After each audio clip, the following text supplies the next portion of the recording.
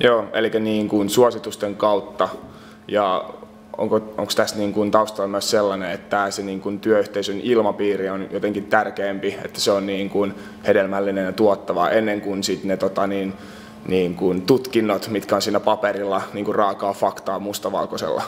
Niin kuin tutkinnot ei tee töitä. Tietenkään mä en saa sanoa, sanoa näin, koska, koska itse tuottaa tutkintoja, mutta kun tutkinto ei tee töitä, se antaa tietynlaisia valmiuksia. Niitä valmiuksia voi toki synnyttää muillakin tavoilla kuin tutkinnoilla, ihan samoja valmiuksia. Pöllöimmät ihmiset, jotka mä tiedän, on väitelleitä ja fiksummat ihmiset, jotka mä tiedän, on väitelleitä. Että tavallaan se tutkinto yksin ei takaa yhtään mitään. Se mikä on niin kiinnostavaa oikeastaan, niin tota on, liittyy ehkä, ehkä, ehkä siihen, että että tavallaan niin mitä pienempi työyhteisö, sitä helpommin se menee rikki, jos sinne hankitaan joku jäsen, joka ei istu siinä.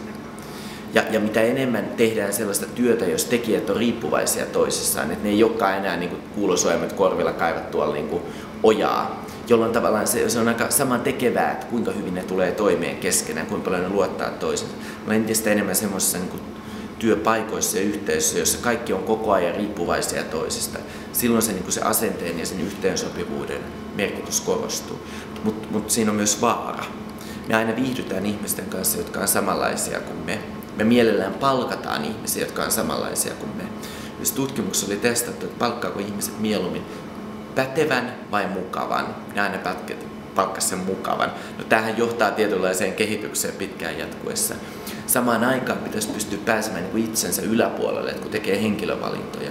Että ymmärtää, että se moniäänisyys ja rikkaus ja se, että ajatellaan asioista eri tavallaan, erilaiset tavat hahmottaa maailma ja työ ja kaikki, niin on itse asiassa valtava voimavara ja vahvuus. Ja, ja, ja nimenomaan pitäisi pyrkiä hakemaan niin moniäänisyyttä ja jopa konflikteja, ei suinkaan sitä, että tämä varmaan toimii tämä rekrytointi, koska se on ihan samanlainen kuin nämä edelliset. Joo.